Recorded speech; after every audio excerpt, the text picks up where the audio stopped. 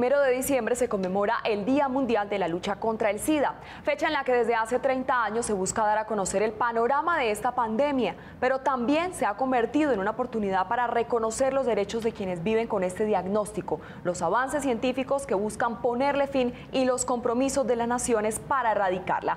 Aquí les presentamos nuestro especial VIH, una lucha posible. Y es que según la Organización Mundial de la Salud, escuchen esta cifra, 39 millones de personas en el mundo han muerto a causa del SIDA. El número equivale a dos veces la población de un país como Ecuador. En esta ocasión quisimos conocer las historias de personas que viven con VIH y abrir el panorama, porque este virus no discrimina edad, sexo, género ni condición social. El virus de la inmunodeficiencia humana es un asunto de todos. Nuestra periodista Natalia Valencia nos presenta este especial. Según el Ministerio de Salud, cerca de 150 mil personas en el país viven con VIH, aunque solo el 80% conoce su diagnóstico. 37.500 de estas personas están en Bogotá. Tenía constantes relaciones sin preservativo en su momento. Obviamente no fue todo el tiempo, fue bastante ocasional. Y pues en base a eso tomé la decisión de empezarme a realizar pruebas eh, periódicas, cada tres meses, cada seis meses, anuales, como se establece en algunas entidades. Y pues el primero de diciembre del 2012 fui diagnosticado con VIH en la ciudad de Barranquilla. Sí, su diagnóstico lo recibió un primero de diciembre, el Día Mundial de la Lucha contra el SIDA. Hoy Wilmar tiene 31 años y aunque han pasado seis desde que recibió su diagnóstico, aún recuerda cómo vivió ese momento. Fue una situación circunstancial, fue un golpe de momento, te quedas anonadado, tu mente queda en blanco y a la vez eh, atribulada demasiadas cosas en la cabeza, cómo lo afronto con mi familia, cómo lo afronto a la sociedad, cómo lo afronto en una relación de pareja. Hay quienes todavía creen que la única población en riesgo por el VIH son trabajadores y trabajadoras sexuales, homosexuales y consumidores de drogas, pero lejos de esa realidad, el VIH puede tocarnos a todos. Fue una sorpresa y como no lo esperaba, pues entonces uno como que en ese momento no reacciona, como que no asimila, porque de pronto en esa época, hace 19 años, no tenía la información suficiente, mm, cómo tomarlo, qué era, no pensamos que de pronto a nosotros no nos toca, que estamos eh, como aislados de que nos llegue eh, una infección de transmisión sexual o el VIH. Es común que las mujeres sean mayormente discriminadas por ser portadoras de VIH, pero hay quienes luchan por cambiar esta realidad. Yo me animo para salir y decir mi diagnóstico porque precisamente las mujeres nos escondemos por miedo a que nos juzguen, porque en, en, la sociedad colombiana de pronto dicen mujer que vive con VIH pues es mujer trabajadora sexual y eso es, es muy equivocada la, ese razonamiento, no, no es así. Este virus no es exclusivo para personas que han tenido múltiples parejas sexuales, basta con haber tenido una sola relación sexual de riesgo. Según el último informe del Ministerio de Salud, la mayoría de casos diagnosticados corresponden a personas entre los 15 y 35 años de edad. Cuando yo vi el, el resultado positivo y los primeros meses yo decía, si uno le cuenta, o sea, todos mis amigos y toda la gente que conoce a Álvaro, tiene una historia de él, ¿no? es un tipo que ha estudiado, un tipo que ha hecho esto y aquello, y el, el VIH no cuadra por ningún lado. ¿Qué, ¿Cómo hago yo para, para, para vivir con esta mancha en mí, ¿no? De cómo yo explico si he tenido educación y conocimiento y una familia afectuosa, y etcétera, etcétera. ¿Cómo explico este error en mi vida? Y luego yo caí en cuenta que no, no hay que verlo como una mancha, sino simplemente como una, una condición más con la que yo llevo. Álvaro tiene 25 años, pero su diagnóstico lo recibió a los 22 cuando se disponía a viajar a México para estudiar un posgrado. Los jóvenes somos irreflexivos por naturaleza porque somos inexpertos, porque no escuchamos y a la par hay un sistema de educación que no, que no piensa en la educación sexual eh, como una prioridad. ¿no? Entonces si juntamos esas dos cosas nos da que creemos que no es para nosotros, ¿no? Entonces hay un montón de prejuicios detrás, que, de excusas que uno mismo se da, entonces uno dice, ah, pues eso solo le pasa a, a ellos, ¿no? A los pobres, a los homosexuales muy afeminados, a los trabajadores sexuales. Yo que soy una persona estudiada, no me va a dar. Pero ¿qué tienen para decirnos aquellas personas que hoy viven con este diagnóstico?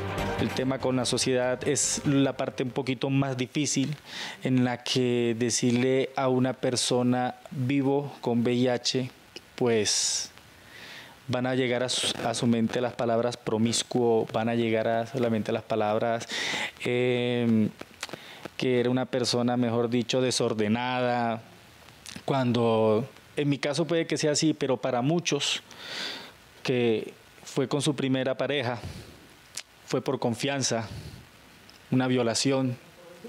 Cada uno tiene una historia que contar, entonces antes de pronto de lanzar esos prejuicios, es mejor conocer un poquito más sobre la persona. Si la persona o la sociedad, la familia, los amigos discriminan o apartan a la persona que vive con VIH, llega un momento en que uno como que llega a la etapa que se deprime la depresión pues va a bajarnos las defensas. En el ADN de los millennials se ha metido la presunción de que viven el día a día sin reflexionar mucho sobre las decisiones.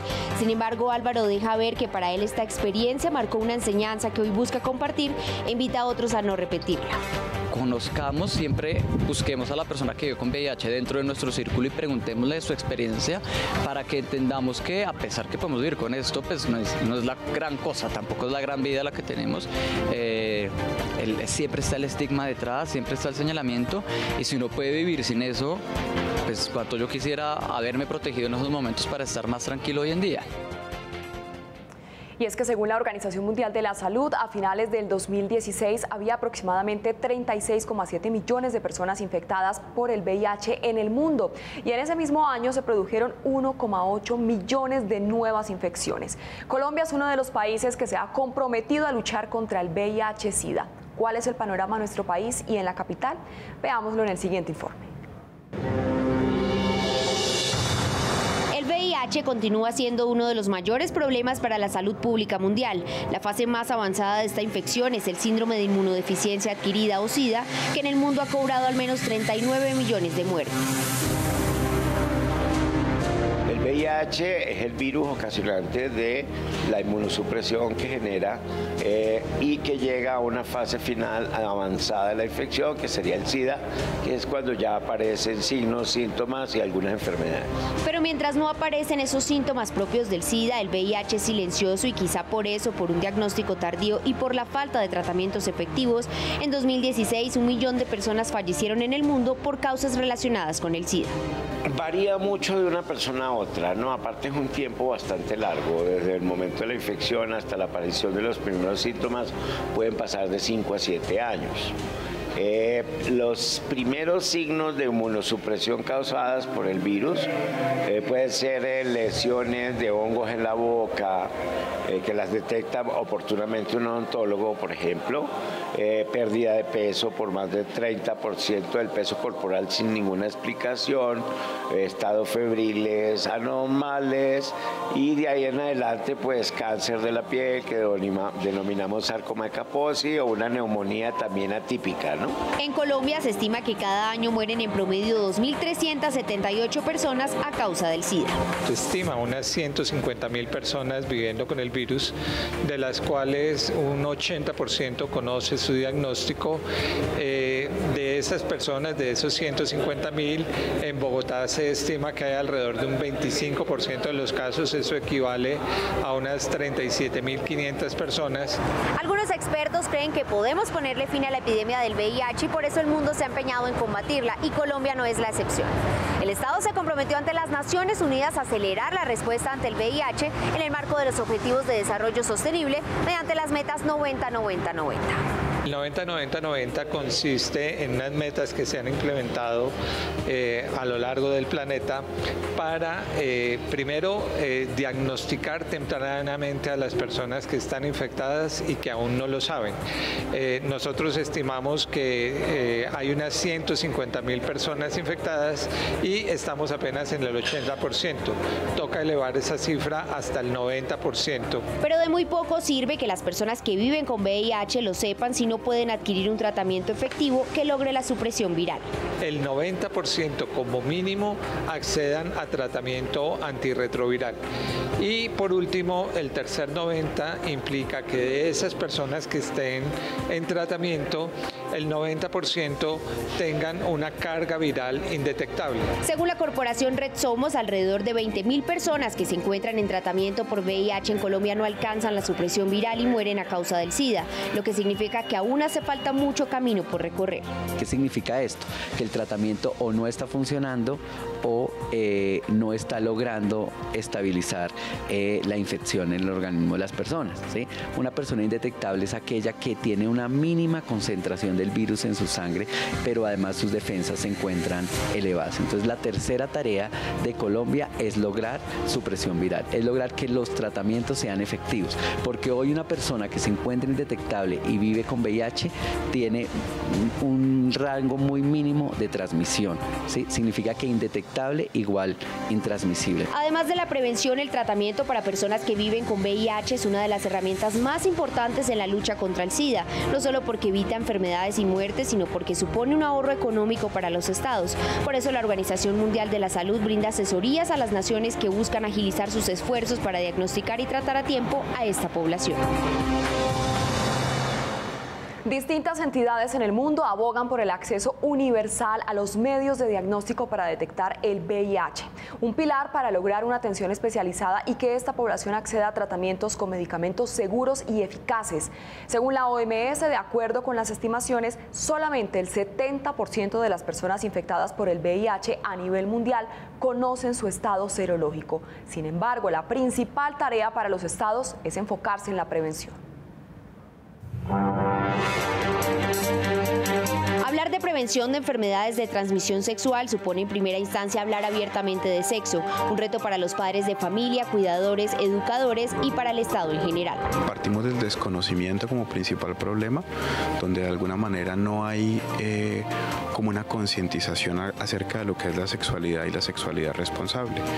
Dentro de no entender esa sexualidad, esa sexualidad responsable, se nos olvida de alguna manera que existe un riesgo con la sexualidad, que son las infecciones de transmisión sexual, además del embarazo no deseado. La educación es fundamental y pienso que parte por casa. Los niños de manera natural van haciendo preguntas y uno debe contestarlas en la medida que ellos tienen capacidad también para entenderlas. No se trata de que cuando el niño pregunta una cosa muy simple se le conteste ya que es toda la vida sexual. Hoy además del uso del condón, el mundo reconoce la profilaxis preexposición como otro método de prevención, un medicamento antirretroviral que las personas seronegativas, es decir, quienes no tienen VIH, pueden tomarlo diariamente para reducir el riesgo de infección.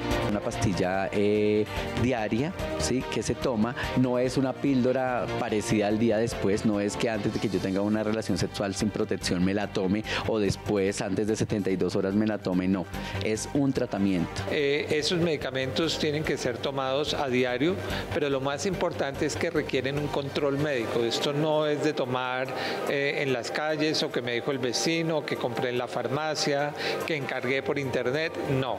Se requiere ir a un servicio de salud donde lo primero que se tiene que hacer es descartar que la persona realmente no esté infectada.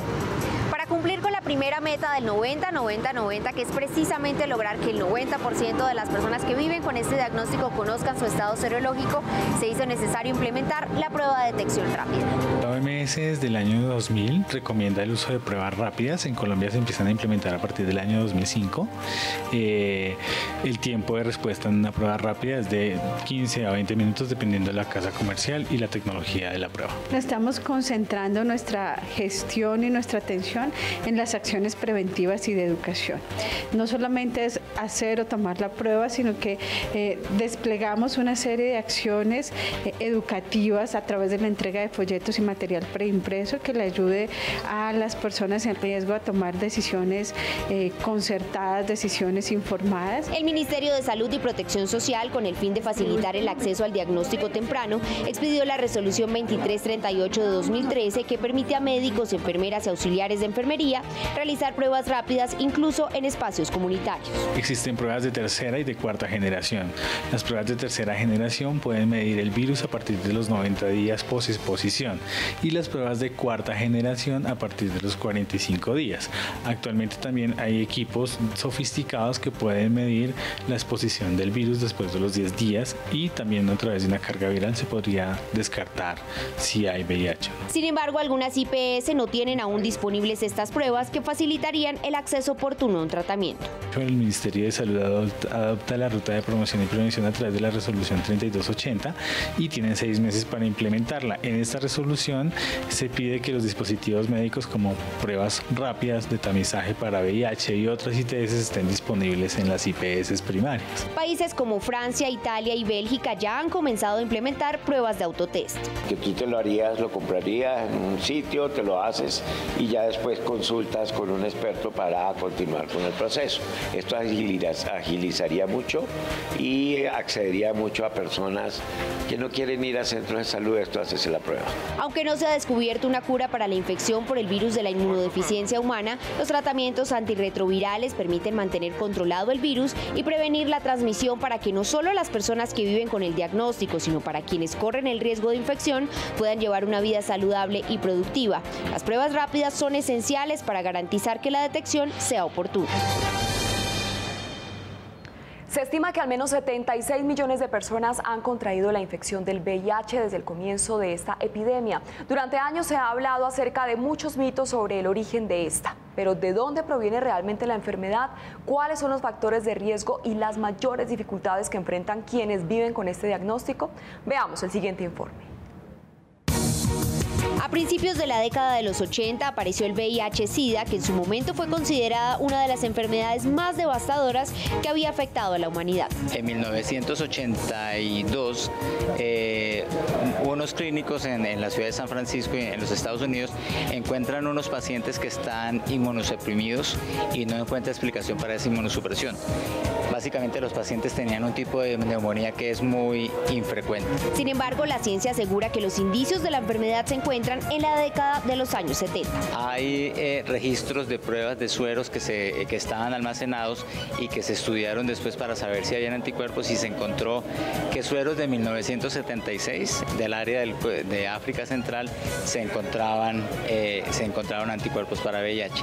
Posteriormente se hicieron estudios de filogenética, eso es básicamente coger el, el virus y saber cuáles son sus ancestros y lograron rastrear el virus a la región del Congo en África. De acuerdo con los datos entregados por la OMS en 2016, la región de África es la más afectada en el mundo y en ella se registran casi dos tercios de las nuevas infecciones por el VIH. Al menos 25.6 millones de personas allí viven con este diagnóstico. Pero ¿de dónde proviene esta enfermedad que atemorizó al mundo?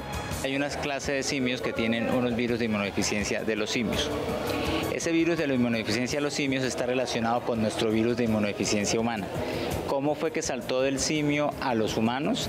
La teoría más probable es que en el proceso de cazar a los simios e ingerirlos, las personas que lo hacían, porque era una tradición de, comida, eh, las personas que lo hacían pudieron haber sufrido cortadas al tratar de cazar al simio o cuando estaban preparando los alimentos. La transmisión del VIH tiene unos mecanismos muy específicos. Una de las principales formas de transmisión es por vía sexual. Es de relaciones sexuales penetrativas, bien sea vaginal o anales. Em, las probabilidades de adquirir el virus por eh, vía de transmisión de sexuales orales es muy baja y los casos que se han reportado son muy escasos realmente. Los consumidores de drogas inyectables y quienes trabajan en el sector salud en laboratorios hacen parte de la población que está en mayor riesgo de adquirir el virus.